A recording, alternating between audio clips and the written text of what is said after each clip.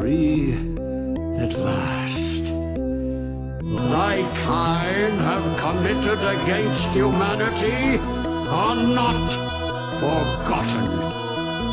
And thy punishment is death.